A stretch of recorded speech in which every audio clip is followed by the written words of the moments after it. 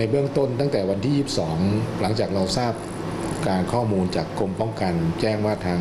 กองเฝ้าระวังของแผ่นดินไหวของกรมอุตุได้แจ้งข้อมูลแล้วเนี่ยท่านผู้ว่าก็ได้สั่งการให้ทางปพจังหวัดนะครับ ร่วมกับท่านนอำเภอรายพายมาศลงไปในพื้นที่ร่วมร่วมกับกำนันผู้ใหญ่บ้านผู้การท้องถิ่นลงไปดูจุดเกิดเหตุเลยวันที่ 22 นะครับ ก็ปรากฏว่าพื้นที่จุดพิกัดที่เกิดเหตุเนี่ยก็ไม่ได้มี สภาพการยุบตัวของแผ่นดินแต่อย่างใด รวมทั้งแล้วก็บ้านเรือนก็ไม่เสียหายนะครับ แล้วก็เมื่อวันที่ 24กรกฎาคมที่ผ่านมาเนี่ยนะครับที่บ้านลุงม่วงนะครับตำบลโคกล่ามเนี่ยก็ไม่ได้รับก็เช่นกัน หลังจากเกิดเหตุท่านผู้ว่าก็สั่งการให้กับ ผมแล้วก็ทางปพจังหวัด แล้วก็ท่านในอำเภอลำไยมาศร่วมกับกำนันผู้ใหญ่บ้านลงไปดูจุดเกิดเหตุเลยภายใน 30 นาทีปรากฏว่าก็ไม่มีสภาพร่องรอยของการสั่นไหวเอ้ยร่องรอยของการยุบตัวของแผ่นดิน แล้วก็ตรวจสอบความเสียหายของราษฎรที่อยู่อาศัยแล้วก็ไม่ได้มีความเสียหายอย่างไรนะครับหลังจากนั้นท่านก็เลยได้สั่งการให้กับปพนะครับได้แจ้งให้ท่านในอำเภอทั้ง 23อำเภอของบุรีรัมย์นี้ได้แจ้งกำนันผู้ใหญ่บ้านนะครับได้ หนึ่งเราต้องเตรียมความพร้อมในในการเฝ้าระวังในพื้นที่ของตัวเองก่อน แล้วก็เตรียมความพร้อมในการช่วยเหลือหากเกิดเหตุอีกครั้งหนึ่งนะครับ แล้วก็ส่วนที่สองท่านก็สั่งการให้ทางปอพเนี่ยประสานให้กับท่านพออุตุนิยมวิทยาบุรีรัมย์แล้วก็ผู้ในวยการพออ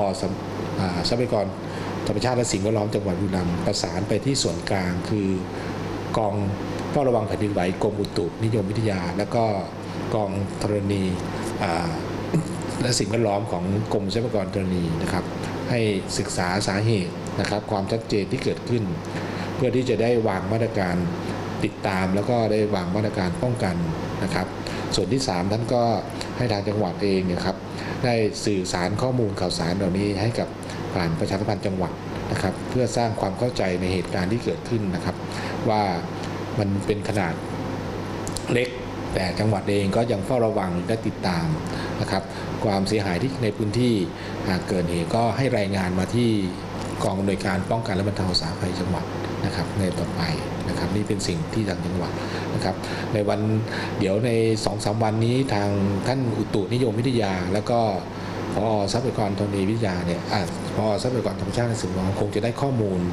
ที่ชัดเจนจากส่วนกลางนะครับว่าสาเหตุที่แท้จริงเนี่ยเวรดังกล่าว จะได้ได้ชี้แจงเพิ่มเติมต่อไปครับแต่จากเอ่อบันทึกข้อมูลก่อนหน้านี้เห็นว่าปีที่แล้วก็เคยมีชาวบ้านแจ้งลักษณะนี้ค่ะใช่ครับ จากที่ท่านพออุตุนิยมวิทยาบุรีรัมย์เนี่ยเคยให้ข้อมูลจากการประสานไปเบื้องต้นเนี่ยกองเฝ้าระวังแผ่นดินไหวของกรมอุตุก็เลยมีการบันทึกข้อมูลไว้อยู่ว่า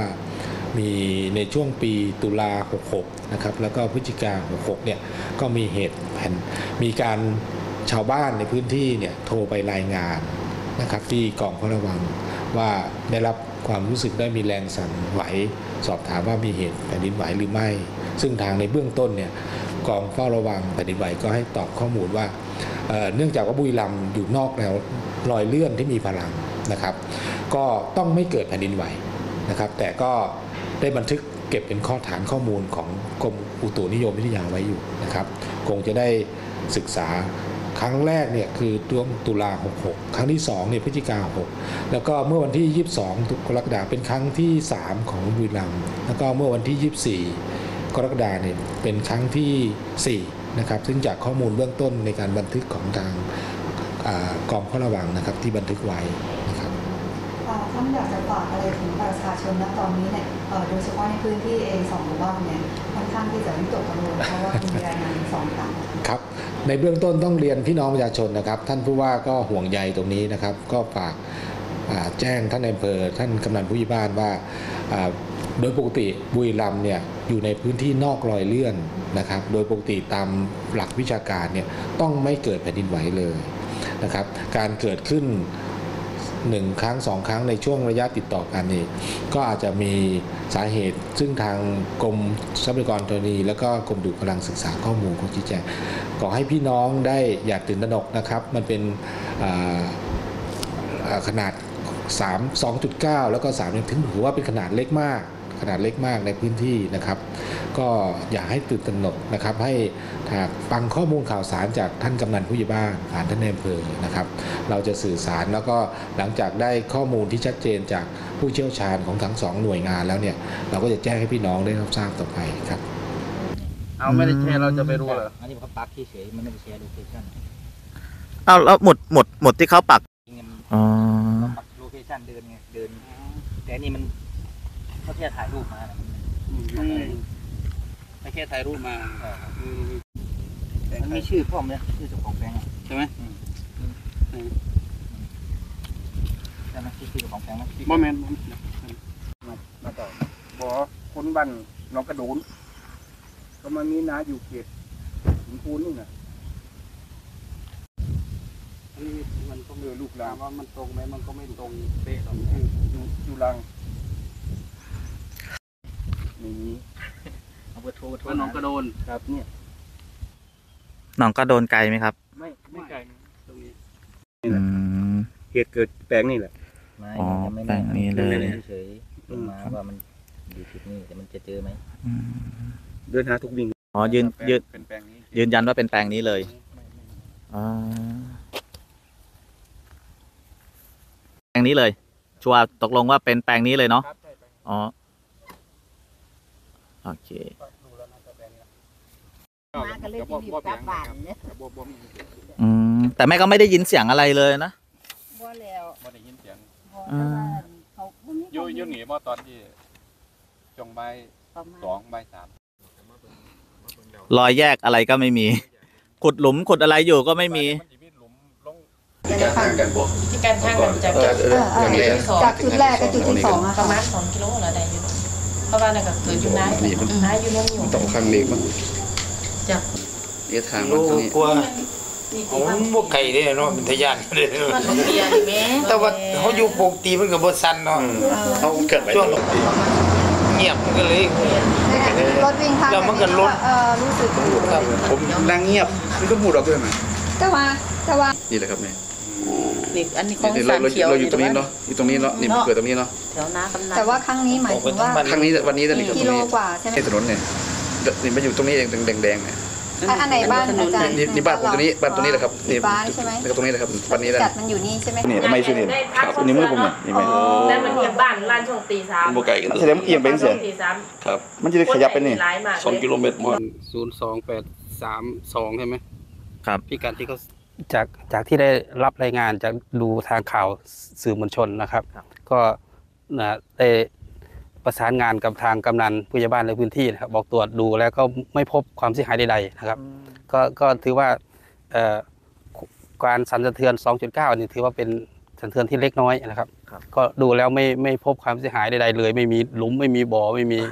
และชาวบ้านจากที่ได้สอบถามทุกหมู่บ้านนะครับครับก็ไม่ไม่ไม่พบเอ่อ ไม่พบว่าหมู่บ้านใดเกิดเกิดแรงสั่นสะเทือนหรือมีการเอ่อเสียหายใดๆครับ ครับหลังจากนี้มีการประชาสัมพันธ์หรือว่าอ่าการเฝ้าระวังยังไงต่อไปบ้างครับอ่าก็ต้องแจ้งทางกำนันผู้ใหญ่บ้านในพื้นที่นะครับเฝ้าระวังประชาสัมพันธ์ดูว่าเอ่อจะมีการอัพเดอร์ช็อคหรือจะมีแรงสั่นสะเทือนอะไรเกิดขึ้นหลังจากนี้ต่อไปหรือไม่ครับ คือ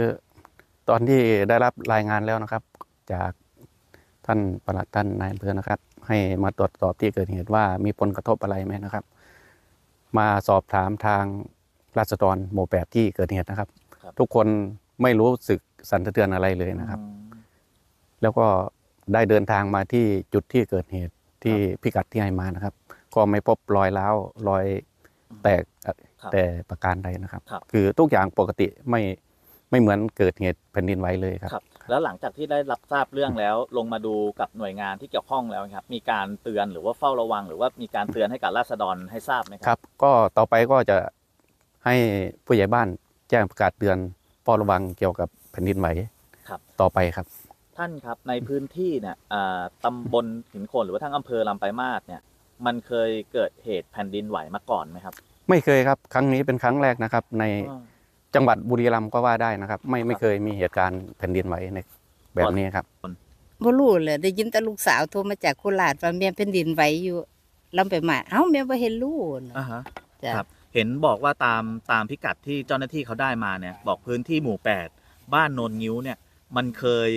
เกิดเหตุลักษณะแบบนี้มาก่อนไหมบ่รู้จ้ะบ่บ่เคยรู้ ไม่เคยมีเนาะจ้ะบ่เคครับยมีจ้ะกลัวไหม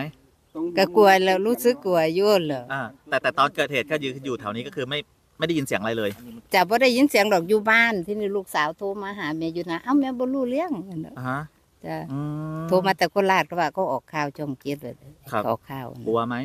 ก็กลัวอยืนที่เนาะกำลังจะกลับบ้านอยู่ก็คเลนยเดียว ก็เลยจะกลับบ้านเลยอยู่คนจ้ะเดียวด้วยจ้ะ อ๋อแต่ว่าพื้นที่ไม่เคยมีมาก่อนเลยเนาะจ้ะบ่มีหรอกจ้ะครับ